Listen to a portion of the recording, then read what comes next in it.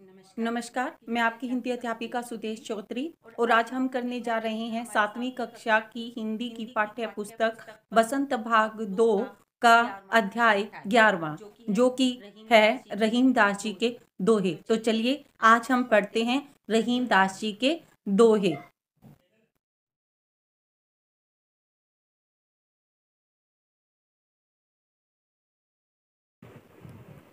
तो ये है आज के हमारे रहीम के दोहे। कही सम, रहीम संपत्ति सगे, बनत बहुत बहुरीत, विपत्ति कसोटी जे कसे, ते ही सांचे मीत।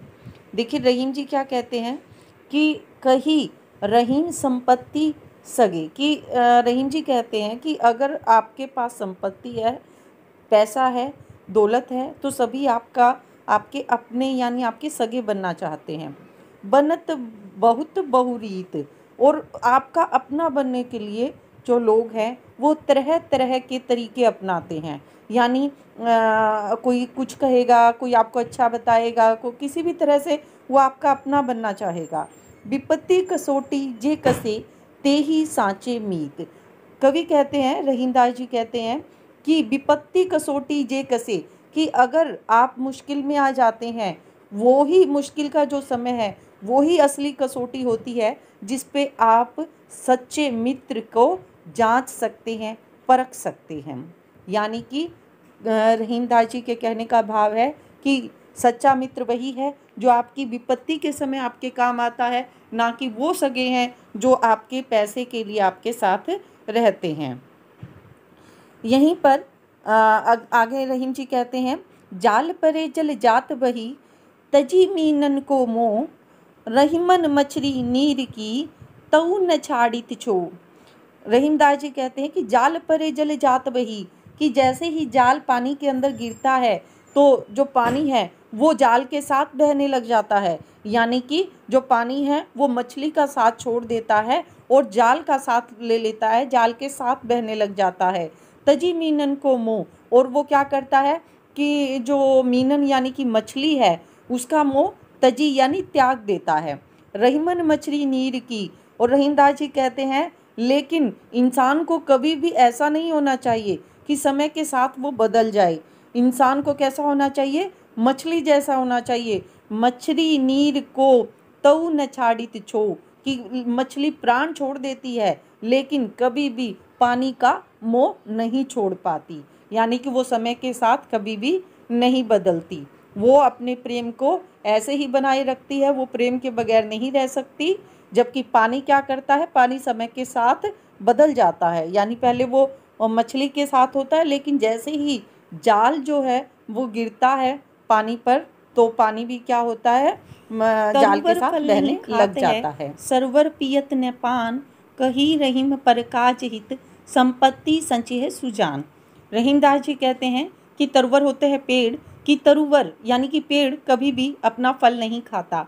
सरोवर पियत न पान, पियत होता है पीना और पान होता है पानी, कि सरोवर कभी भी अपना पानी नहीं पीता। कही रहीम पर काज हित, रहीमदास जी कहते हैं, पर काज दूसरों के लिए जो काम करते हैं, हित, यानी कि दूसरों के हित के लिए जो काम करते हैं, संपत्ति संचय सुजान, जो लोग संपत्ति, यानी पैसा और संचय संचय करना, इकट्ठा करना और सुजान। सुजान होता है बुद्धिमान या सज्जन। कि सज्जन व्यक्ति, यहाँ रहीम जी का भाव है कि सज्जन व्यक्ति हमेशा ही दूसरों के हित के लिए धन का संचय करता है। जबकि स्वार्थी व्यक्ति सिर्फ़ धन का संचय अपने लिए करता है। लेकिन जो बुद्धिमान व्यक्ति है, समझदार इंसान है या सज्जन इंसान है, वो दूसरों के काम आने के लिए, दूसरों की सहायता करने के लिए धन का संचय करता है। ठीक उसी प्रकार से, जिस प्रकार से पेड़ हमेशा दूसरों के काम आते हैं, दूसरों को छाया देते हैं, दूसरों को फल खिलाते हैं, जबकि अपना फल वो कभी भी खुद नहीं खाते। जैसे सरोवर दूसरों की प्यास मिटाता है, ठीक इसी प्रकार से सज्जन व्यक्ति भी क्या करता है? धन का संचय करता है, लेकिन दूसरों के हित के लिए करता है। थोथे बादर क्वार के, जो रहीम गहरात धनी पुरुष निर्धन भये करे पाचली बात। अब रहीमदास जी कहते हैं कि थोथे बादर क्वार के कि क्वार आश्विन का महीना होता है सितंबर अक्टूबर का महीना कि जिस तरह से आश्विन के महीने में थोथे बादल थोता होता है दिखावा कि जो बादल हैं वो दिखने के होते हैं सिर्फ़ जो रहीम गहरा रहीमदास जी कहते हैं कि जो सिर्फ़ गरजते हैं। आ, मतलब दिखाते हैं कि ऐसे बारिश होगी और वो बहुत गरजते भी हैं लेकिन बारिश नहीं होती। ठीक है? उसी प्रकार से धनी पुरुष निर्धन भय कि जब कोई धनी व्यक्ति निर्धन हो जाता है, करे पाछली बात तो वो अपना घमंड उसी तरह से दिखाता है, अपना रोग दिखाता है और पीछे की जो बात होती है, यानी जब जैसे वो पहले समय में धनी होता है, अपना वही रोग बार बार कहकर ये दिखाता है कि मैं ऐसा हूँ, मैं वैसा हूँ, मेरे पास ये है और मेरे पास वो था। तो वो समय के साथ निर्धन हो चुका है, लेकिन फिर भी उसकी अकड़ है, यानी कि धनी व्यक्ति की अकड़ है, वो कम नहीं होती। ठीक उसी प्रकार से, जिस प्रकार से जो आश्विन माह के जो बादल हैं, वो सिर्फ़ दिखावे के होते हैं, जो गरजते रहते हैं, लेकिन वर्षा नहीं करते। आगे रहीमदास जी कहते हैं, धरती की सी रीत है शीत घाम ओ में जैसे परे सो सही रहे, क्यों रहीम यह दे? यहाँ पर रहीमदास जी जो मनुष्य का जो शरीर है, उसी की प्रशंसा करते हुए कहते हैं कि धरती की सी रीत है।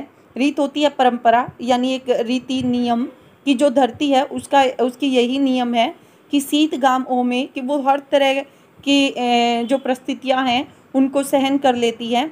चाहे सर्दी हो, चाहे घाम मतलब गर्मी हो, और धूप हो ओ, और में, यानी बारिश। यानी कि जो धरती है, वो सर्दी, गर्मी और बादल, वर्षा को भी क्या करती है? सहन करती है। जैसी परे सो सही रहे कि अगर वो किसी भी तरह, किसी, कोई भी परिस्थिति धरती पर रहती है तो वो उसको क्या करती है? धरती उसे सह लेती है। क्यों रहीम यह दे कि जो मानव का जो शरीर है, वो भी ठीक धरती के जैसे ही है, यानी धरती के समान है धरती के जैसा है क्योंकि मानव शरीर है वो भी क्या करता है हर तरह की तकलीफ़ को सह लेता है और आ, हिम्मत नहीं हारता। इसीलिए कबीरदास जी कहते हैं कि जो शरीर है उसकी तुलना किससे की है? कबीरदास जी ने धरती से की है। इस प्रकार से आज का जो हमारा रहीमदास जी के दोहे हैं वो समाप्त होते हैं और इसके जो शब्दार्थ हैं वो आपको वीडियो में ही मिलेंगे। जिसे आपको अपनी जो कॉपी है, उसमें लिखना है।